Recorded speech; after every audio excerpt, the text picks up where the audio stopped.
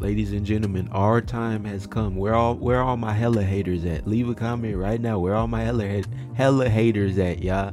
It is patch day, balance update day, OTA day, where we look at the changes, we talk about them, y'all. We got nine cards to look at today. We got some insane changes, some crazy changes. Hit that like button. Let's get 40 likes. Let's get right into it, y'all. Let's get right into it. Big Hela. Big Hela. So, uh, as we all know, as we are all fully aware of, her old stat, 6 cost 6 power. Resurrect all your all cards you discarded to random locations with negative 2 power. But they went ahead and decided to boost her boost her stat line by one, so making her 6 cost 7 power. But now she's resurrect all your cards with negative 3 power. Now you guys, we we might here, here, here, we might be able to rejoice about this. We might be able to be excited about this. Here's the thing though. If you're up against a Hela deck, you don't have rogue, you don't have enchantress. You understand what I'm saying? You don't have echo to predict their Luke Cage. This is actually worse for you. Because as we all know, they play their blade, they play their Luke Cage, they play their Hellcow and then they play their Hela. But now, if you have nothing to deal with, Luke Cage is actually stronger. Obviously, it's a it's a net it's a nerf, right? Negative three power, right? I mean, you should already you should be running rogue and stuff. You know what I'm saying? Something to deal with Luke Cage, especially because of how popular this is. But I mean, look, interesting change, man. Is is it gonna be? Is she gonna be a lot worse now? Is everybody gonna drop her? Let's hope. Let's read what they had to say. Hela has seen a resurgence in popularity with Hellcow's change to activate and Black Cat's buff to 10 power. While her win, win rate and cube rates haven't been out of line, this change has strengthened the deck by making it easier to more, resurrect more power with less risk than before, which can, frust- which can feel frustratingly difficult to contest for many decks. We're taking away some additional power from the resurrected cards as a bit of compensation for this added strength, but balancing it a touch with more power for Hela. You guys, this is this is a very interesting change, and and I and I'm very reluctant to call it a nerf. I, I want to title this video "Hela got buffed so bad." I just don't want 40 people commenting telling me I'm wrong. But he, here's why I'm reluctant to call this a buff, y'all. Infinite, what's the difference between 17 and 18 power? Not much. You understand what I'm saying? Death from 12 to 9, Magneto from 12 to 9, Giganto from 14 to 11. You can no longer throw priority in Shang-Chi a Magneto with this. Or Shang-Chi a Death, right? Additionally, like I said, if you do not have anything to deal with Luke Cage, this is worse for you because they're going to play Luke Cage and now they get an extra point of power from Hela. Is this a nerf? Is this a buff? Let me know what y'all think in the comments, man. Let's get to the next card. Big Marvel Boy, Little Marvel, Little Boy, Little Marvel Boy. Took away power from him, made him a little, made him a little kid. Let's read what they had to say. Then I'm gonna get my thoughts. Ever since Marvel Boy's release, Zoo decks with tons of one cost cards have been riding high.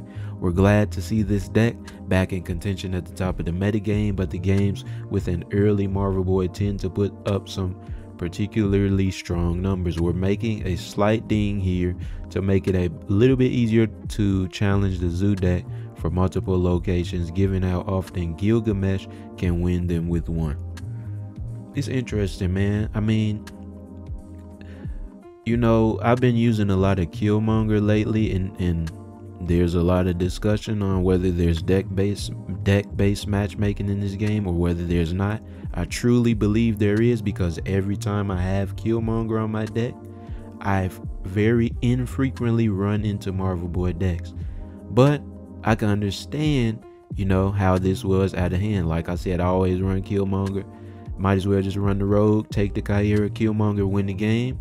But maybe they don't want you to use tech cards on every deck. You know what I'm saying? So they had to tone this down a little bit. I don't really think that it uh it does much because Marvel Boy isn't isn't really the source. He isn't the his stat line isn't the source of strength. How about that? It, it's more so his ability that you know makes those decks out of hand. You know, with your Squirrel Girl, you know, whatever other your Kate Bishop arrows, whatever other one cost cards you want to use with them Ant Man. And um, you know, I, I feel like if they were gonna adjust anything, they should have probably ju- adjusted his ability, you know, rather than his stat line. But I mean, you know, it's something, right? You don't gotta really make a huge change to every card every time. So I mean, I, I I'll, I'll accept this, right? You know, I, like I said, I don't really have a high view of Marvel Boy, but you know, clearly a lot of people did, and so we needed this, man. Y'all let me know what y'all think of Big Marvel, little, boy, little Marvel boy. Up next, we got War Machine. Now, War Machine is definitely he. For some reason, we all forgot about him when they changed uh, Hellcow because I feel like this the War Machine, um, you know, the War Machine Legion Storm stuff is still very solid, right? It's probably be- even better than Hela because I mean, one in in, in the head-to-head matchup, like you beat Hela decks, and this has like a better matchup spread against like other types of decks, right? So the I mean, the War Machine was stuff was very good, especially since they buffed him. Um, yeah, they kind of you know forgot about him. I definitely agree with taking a little bit of power away from him because his ability is so good. I honestly think he could be four or five and he'll be just fine. You know what I'm saying? So, I mean, four six is cool. Let's go ahead and read what they got to say about him. With the recent change from unrevealed to ongoing to an ongoing one, War Machine has really taken off. We're excited to see the decks with Ebony Maw and, and the Infinite that players have been perfecting for a long time to finally get their day in the sun. Ain't nobody been perfecting no Ebony Maw and Infinite. They just now started using that. Talk about perfecting. Let's keep reading. However, War Machine's win rate has been among the highest in the game, and that has had a lot had been in a lot of decks focusing on Storm and Legion to deny the opponent any turns it plays. Those decks have a place, but they but because they can be frustrating to play against repeatedly, we don't want them headlining in the metagame. We're taking War Machine down by removing power, since that recent buff turned out a bit stronger than expected. Understandable. But at the same time, you're still gonna be able to do it. Right, next. Symbiote Spider. Symbiote Spider, they, they need a, a, couple more season pass sales, y'all. Y'all didn't buy that season pass for the season. Y'all got a, a, few more days left. He just got buffed, you all. Make sure you purchase the season pass. He got one more point of power. I'm I'm gonna read what they had to say, but this is clearly this is clearly for money. This is clearly for money. This don't got nothing to do with the balance. You've all found a ton of awesome things to do with Symbiote Spider Man from retriggering Doctor Doom to safeguarding the power of Human Torch. But a lot of these strategies have been a bit inconsistent, and when they don't pan out, Symbiote Spider Man has been under delivering on board presence. To ensure those cool things are less risky, we want to raise the floor so that Symbiote Spider Man con- contributes a meaningful amount and of power the rest of the time. Actually, I, actually, I agree with this, y'all. Obviously, they're they're not going to talk about they want more season pass sales in, in the patch notes but th- it's clear. We all know that they want that. But you know outside of that I, I, it's interesting man. Like it, it, activate is still new right? Like i don't i don't think you know we fully even understand. Like it it hasn't the mechanic hasn't been out for a month. It's a flying here. I will kill it. And um you know a, a lot of us right? We're still trying to figure out how to use Activate, right? On top of that, you know, we only really have Symbiote Spider-Man, Araña, and um, I guess we got Black Swan. We only got four Activate cards at this point, right? So, um, it might have been under underperforming just because maybe it was too weak. Maybe, like I said, people don't really understand how to, you know, use it yet. Um, on top of that, it was locked behind the season pass, so you know you might have saw even lower numbers than they thought because nobody or a, a, large percentage of people you know what i'm saying are, are not trying to buy that pass right? But they buffed them so you better buy it. Let's keep it going. Big body galactus six six. They just gave him one power. This is interesting. Obviously we knew um we all saw like the day one symbiote galactus stuff. So now what is it uh six plus seven 13 power. I mean, that's that's pretty good. That's pretty cool, especially you know, on uh, after you send over you know a, a green goblin, a hobgoblin. I mean, that's gonna be something solid, right? Obviously, it's very easy to counter that, especially right now because everybody's using a um a junk deck. You know, you can run a nihilist, right? Everybody, I mean, White Widow is one of the cash cards, so it's, it's going to be very easy to make sure that your opponent has a card on their side of the field so that you don't lose to Galactus. But, you know, despite that, despite these two cards being strong, right? I feel like I feel like it's still gonna be all right. I actually feel like Galactus needed to be a little bit scarier than he was, right? Because I mean, it before this season, like you you never really saw him anyways.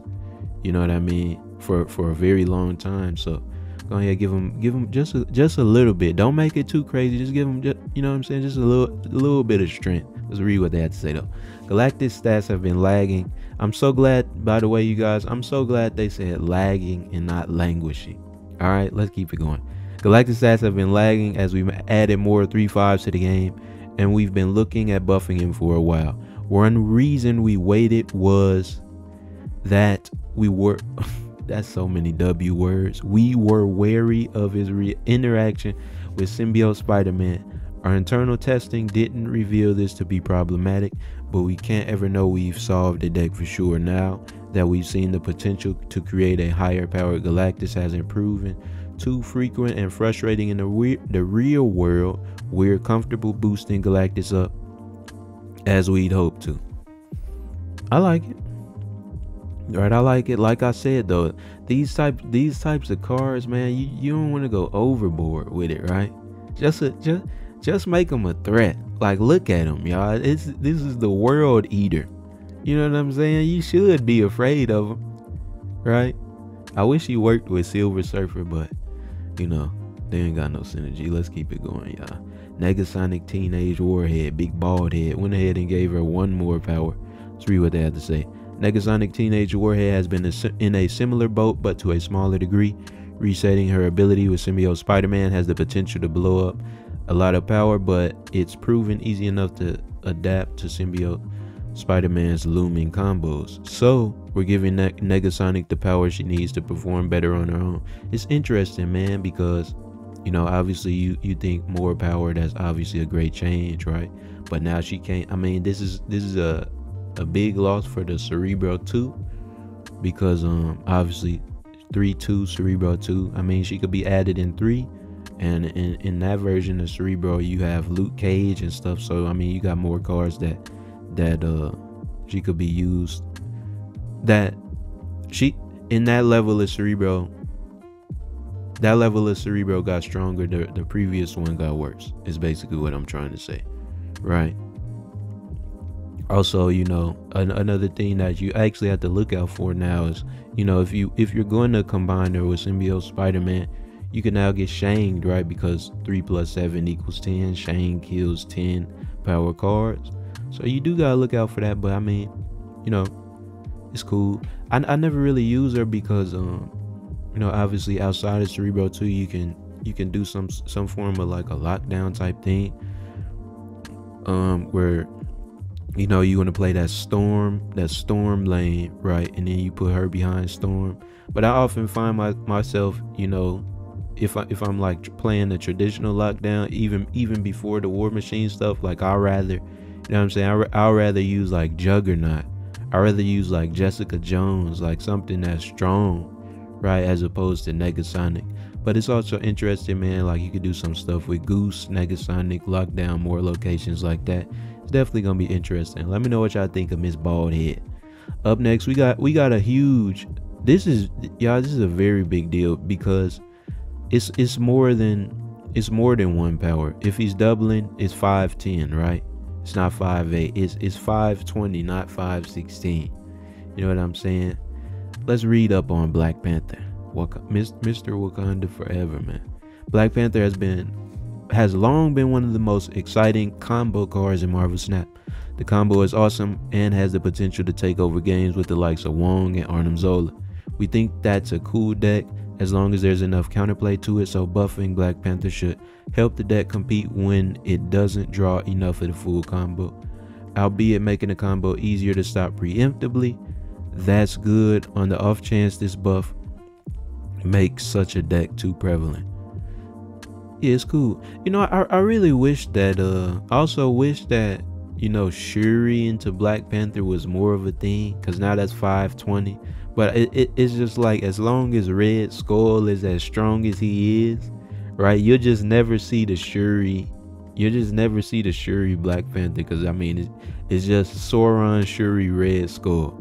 You know what I'm saying? But I don't know. Like hopefully, or maybe we'll potentially see some. You know some some some of the whole like Wakanda crew type decks with Nakia, um, Okoye, obviously Shuri, Black Panther. I might I might use something like that. But I mean it's cool, right? And and I think they they did this one perfect. Like it makes him vulnerable to Shang, but it also makes Wong a little bit stronger. But there's enough counterplay to Wong, um, to the point where it won't be out of hand. You know what I'm saying?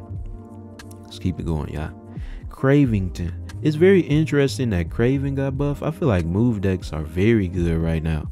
You know, you know what I mean. And and on top of the fact that we have uh, we have um, I forget the symbiote's name every single time, but next month we got the one that like works with Kingpin. Obviously, Kraven can be put on a Kingpin deck, but like they're already gonna be nerfing move decks in that in that way. Are they like giving him more?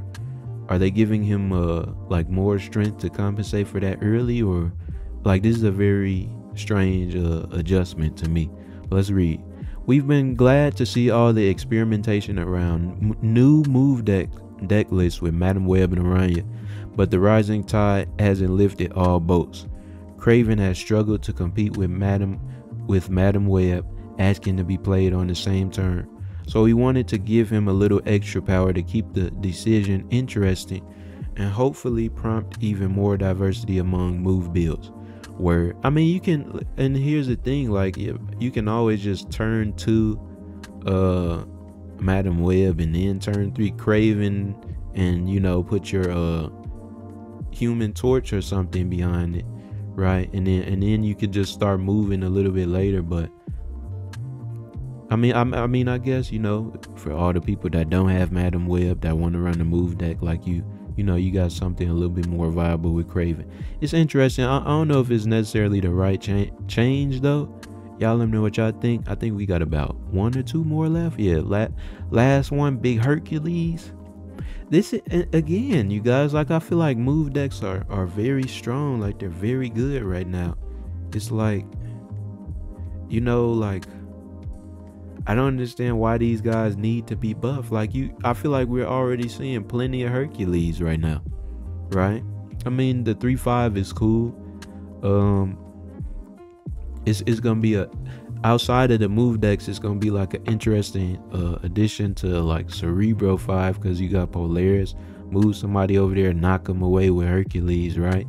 It's gonna be something interesting. Unfortunately, you know you can't really use um what's his face Miles Morales is on that anymore. But I mean, you still got Polaris, Spider Man, right? Wave, Doom, that type of thing.